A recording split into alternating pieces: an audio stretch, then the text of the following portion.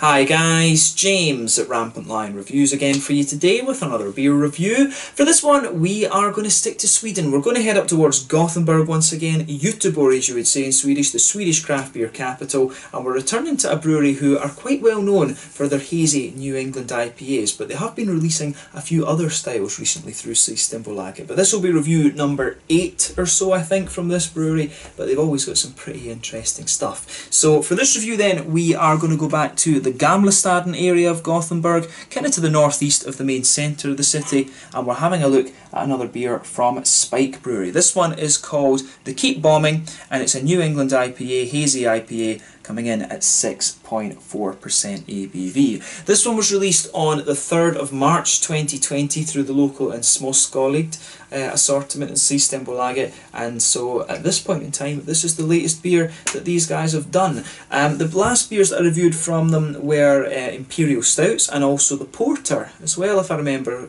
correctly. The sickest sentence and was it the Aurora? Was the name of the, the Imperial Stout that I reviewed. Both of those were really nice. It's been a wee while actually since I had an IPA from uh, from Spike Brewery. So hopefully this one turns out to be very nice, like the previous ones that I had. Um, these guys also have their own bar at the brewery, which opens up every Saturday. I've filmed a little out and about video there, which is definitely worth checking out if you uh, if you get the chance. I would recommend that you go there and have a little bit of a look around. Actually, it's a nice little bar, and uh, there's some good beers there, and good guys behind the bar as well, from what I remember. So um, yeah, let's see how we get on with this one then. Looking forward to trying trying it. And as always, I hope you guys enjoy my take on this beer as well. So anyway, as always with my reviews then, I'll tell you a little bit about the brewery before we taste the beer. If you want to get straight to the tasting, just fast forward. All the usual links are in the description below. That's the brewery website, the link to my other reviews that I've done from Spike Brewery before. No doubt there will be some more at some point in the near future. There's all the usual social media down there too. If you want to see more reviews, do please consider subscribing to the channel. The whole channel, of course, has a geography based tagging system, so you can go into the homepage and search for beer based on country, city, state, county, prefecture, whatever it is you're interested in. Do check out the playlists of beers from different countries. There is one there for all the Swedish beers that I've reviewed for you. That's constantly being added to, and as always, please do get in touch and let me know some of the other beers and breweries that you guys would like to see me review. It's always great to hear from you guys that are watching the videos and the support that you show the channel is hugely, hugely appreciated. So anyway, to tell you a little bit about Spike Brewery then, on to my brewery notes. So Spike Brewery, as I've told you before, are based in Gothenburg, Göteborg on the Swedish west coast and they were founded back in 2014 by Mats Westberg, Marcus Axberg and Martin Johansson.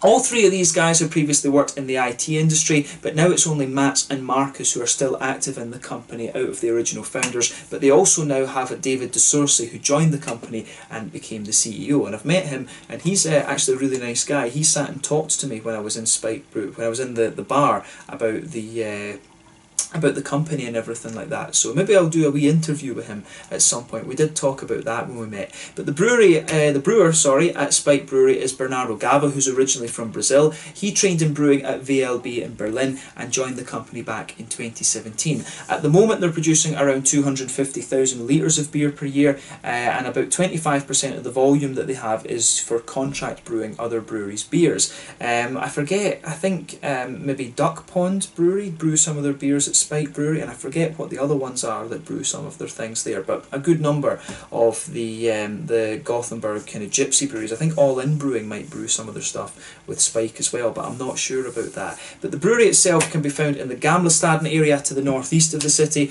and they've got the on-site tap room there, as I mentioned earlier, which opens up on Saturdays. It also serves food apparently, but I didn't see the food when I was there. Um, but they are looking at opportunities to build their own brewery at the moment as well. And as of March 2020, they've produced around 75 different types of beer according to Untappd. So yeah, a fairly prolific brewery this one, definitely worth going to visit if you uh, if you get the chance and find yourself in the Gamlestaden area. That uh, the, the Gamlestaden areas it's it's kind of interesting actually. It's a little bit more kind of 70s and industrial type thing, but the brewery itself is in an old slaughterhouse actually, and you can see that on the can. It says Slakthuset uh, up there as well, which means yeah, slaughterhouse.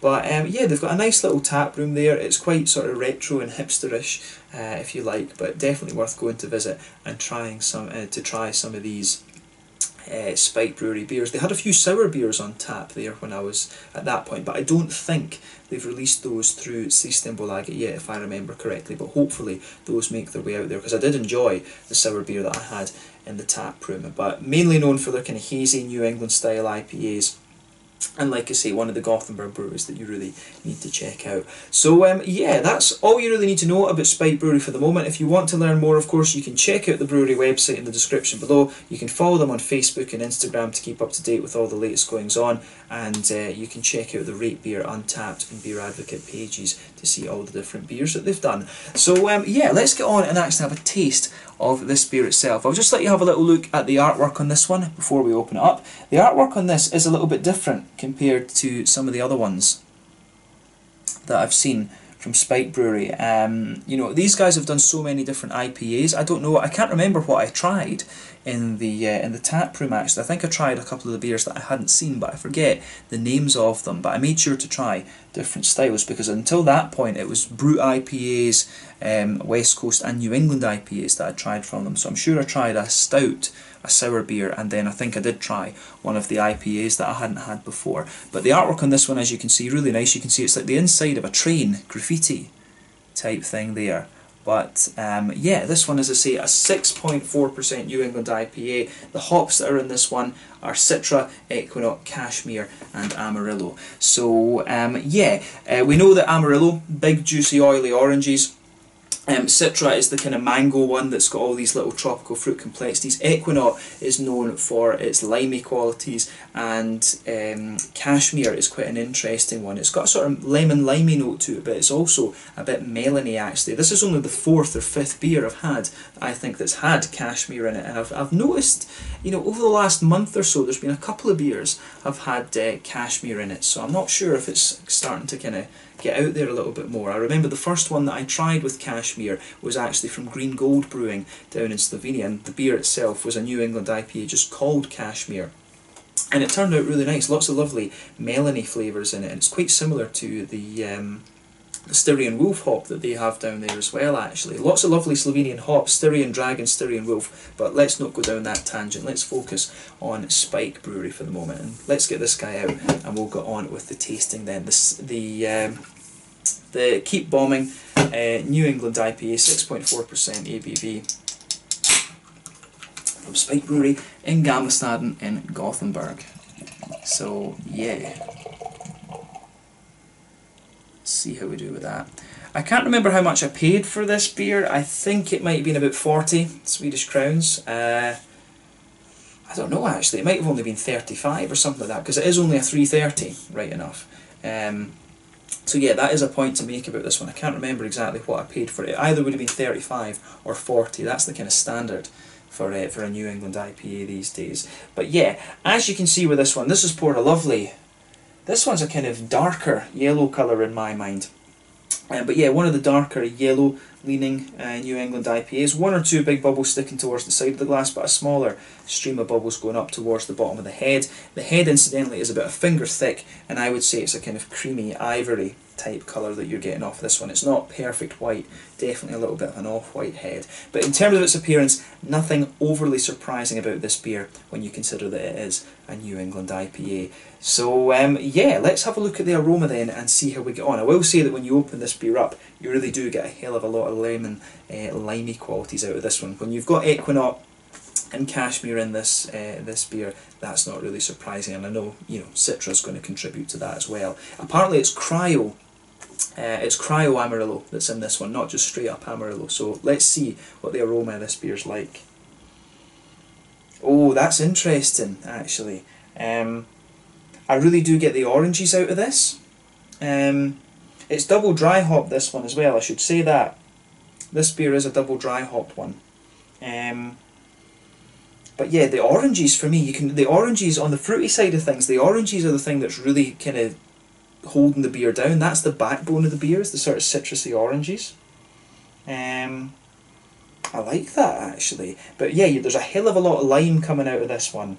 And of course when it's Equinox that's in there, you will expect that. And I mean it's the, the other one from uh, that you'll get from uh, New Zealand that's like that. It's Motueka is the one that's going to give you um, a lot of the the limey notes there. Um,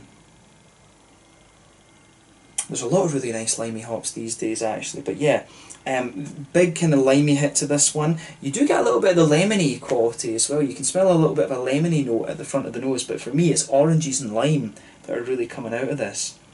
Um, you know, when you've got Citra in there, Citra can give you some lemon limey quality, sometimes a little bit of lychee and gooseberry as well. Um, I don't really get any of those out of it.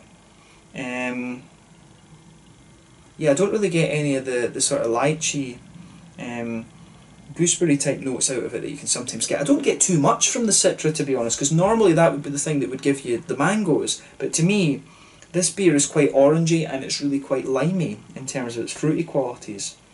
Um, yeah, no, really, there's a wee bit of a kind of softer tropical fruit under there, but it's quite hard to distinguish whether it is straight up mango or whether it's more kind of like the papaya apricot note that you can sometimes get from citrus as well. So for me, yeah, I'd stick to this beer being a bit of a big limey hit. You can pick out some of the melon in there, in fairness as well, from the um, from the cashmere. Melon I find to be quite an oily fruit in terms of the aroma, and cashmere generally. Um, I had a beer, I forget which IPA it was now, but I did have another IPA um, that I filmed a couple of days back um, that had cashmere in it, and I noticed just how oily a hop it is. It's quite similar to Amarillo in that way, actually. So yeah, lots of limey notes in there, the lime coming out towards the front of the, the nose, the oranges are matched up to that, and you've also got the um, you've also got that kind of big limey character to this too. The aroma, the fruit, fruity side of this is really quite interesting and quite quirky compared to a number of, um, of other beers that I've had actually quite that I've had recently. Ekuanot was very very popular maybe about 2017 2018 and I've noticed it's starting to come back a little bit but there's that many hops these days um, that it's difficult to keep track. I mean you've got hops like Jarrylo that you're not going to see all that often. There's Sabro now coming out of America. Galaxy, you've got all the ones down in New Zealand as well which are gradually making their way over to the breweries here in Europe as well which is always kind of interesting. But um, yeah, lovely fruity aroma to this one. On the malty side of things, um, it's quite smooth actually. It almost smells like some of the German IPAs that I remember having. Um, I wouldn't be surprised if some of the malt that's in this is Munich malt or something like that. But yeah, nice kind of smooth white bready quality in there. You can pick out a bit of the wheaty notes, some of the oats come out as well, but to me it smells more like a kind of bready base this, and the wheat doesn't have too much of a bite to it. There's maybe a little touch of a biscuity quality to this as well. Um, but you also have uh, yeah you also have a little bit of just a yeah a wee bit of a kind of McVitie's digestive kind of thing there. But to me the malt base is quite bready and almost like some of the German um, IPAs that I was having a couple of years ago actually. In terms of the green side of the hops I would definitely say that this beer um, it leans towards the floral end of things, but it's not too pungent a floral character, if that makes sense. But yeah, the aroma of this one is quite interesting and quite quirky compared to some of the other uh, New England IPAs that I've had in recent times as well. So yeah, take a bit of time and enjoy the aroma of the beer before you get stuck into it. But let's have a taste of this one then and see how we get on. So this one is the Keep Bombing, a New England IPA, hazy IPA, or they're calling it a foggy IPA coming in at 6.4% ABV from Spike Brewery in Gothenburg here in Sweden. Slàinte, skål!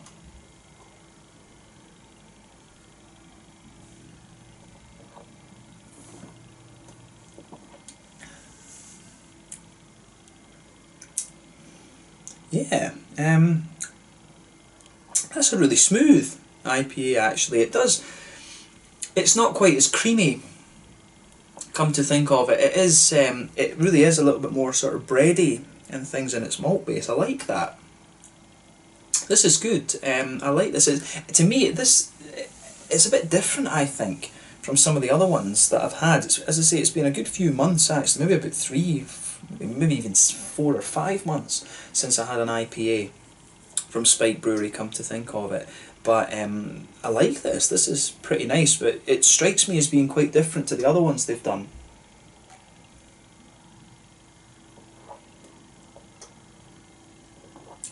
Yeah. On one hand, it's very smooth, from the malty side of things, but it's got a lovely big oily fruity character to it. The, the fruit the fruity notes you get out of this, in, in one sense they're oily, in one sense they're a bit wet, but at the same time they're also quite juicy. Um, so yeah, this this is this is a really nice beer actually. I like this. It takes me a little bit of a minute to get my head around it though, just because it is different to other things I've had from Spike before, and it's one of these things. You know, you always get a bit of a preconception about a brewery, if you like, when you're you're going into it. So It's a brewery that I know fairly well, and I'm going in to try a style that I've had a good few of from them. Um, but they've pulled off something quite different here, so kudos to them for taking a different approach to the style, I guess you could say. So let's try and break the flavour of this down a little bit then and describe it properly.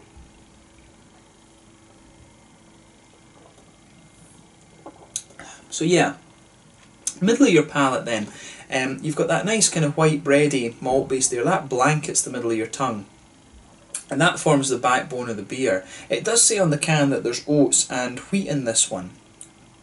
The wheat that's in this, um, you can get a little bit of it at the back of the palate, and it's it's very very smooth actually.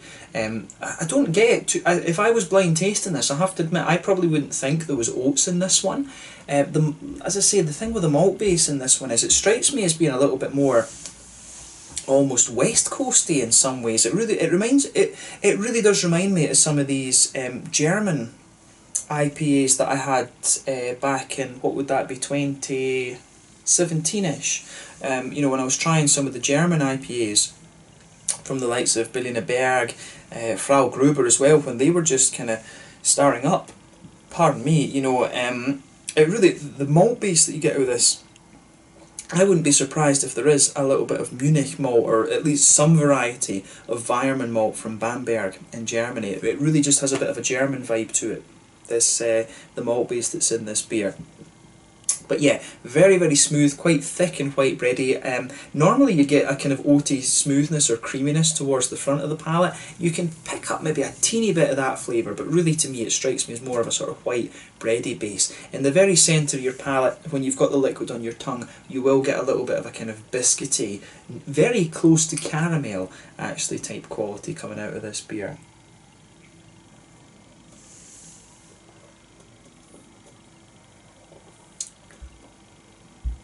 Yeah, there is a wee bit of that biscuity, caramelly sweetness there in the middle of the palate. And that actually, in fairness, lingers into the aftertaste a bit as well. Um, yeah, I like how that, that malt base goes together. This is definitely different from what they've done before. Um, in terms of the hoppy side of things then, the malt base is very kind of straight up in that regard. Um, but in terms of the hoppy side of things, back corners of the palate, there is definitely a little bit of earthiness to this one. As you come further forward along the sides of the tongue, that earthiness just um, smoothens up a little bit. You've got some nice floral aromaticity on the front corners of the palate, then round the very front curve of the tongue, it's a wee bit lighter and more uh, and more grassy in my mind. And then behind the front curve of the tongue, that's where you get that nice sort of fruity, uh, oily bubble coming out of the beer, where you get those nice juicy fruity esters from the hops pushing their way out of the beer. So let's look at that.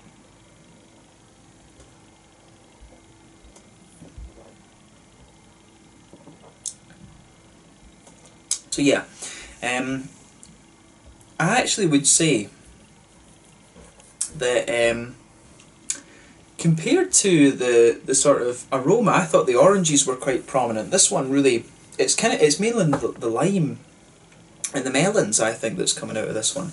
Um, if you go to the back of that, the palate, the uh, the the oily fruity part of the beer, there's a wee bit of that kind of. Um, there is a wee bit of that kind of grapefruity, darker tropical fruity note there. As you come further forward from it, I don't know. You don't. I don't really get too much from the Citra. Otherwise, um, I don't really get too much in the way of a tropically fruit. I really find this beer to be. It's the cashmere, I think, that's kind of dominating this.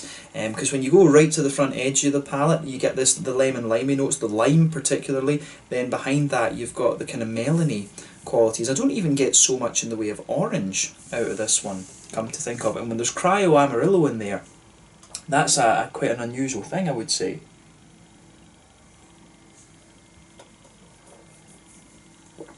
When I take the beer in right enough, when I take it in on the that's sitting there on the palate, you do get some of that orange there. But I think as you go further into the aftertaste, the orange sort of fades away. You can feel it on the front, uh, kind of all, close to the front tip of your tongue, but then the orange just fades away, and I feel that it's the melon that starts to take over, and then the lime starts to push its way out as well, and you get a few lemony, zesty type things coming out of the beer too. So um, yeah, overall I'd say that this is quite a, a bready and limey IPA, but definitely a bit of a, an appearance from the melon at the same time too. So this is a really quite quirky one compared to others that I've had in this particular style recently, um, but it's definitely worth having a go at and seeing what you like. I mean, if you like the um, the the Wai-iti um, hop um, from New Zealand, you will quite enjoy this as well. The Cashmere, as I say, it's a big um, sort of melony but also lemon limey hop and Ekuanot as well.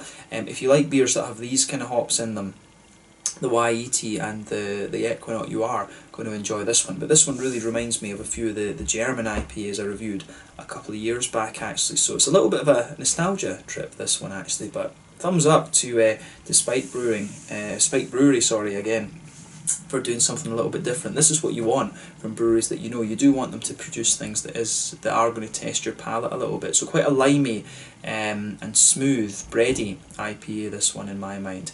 So um, yeah, in terms of the mouthfeel. Um,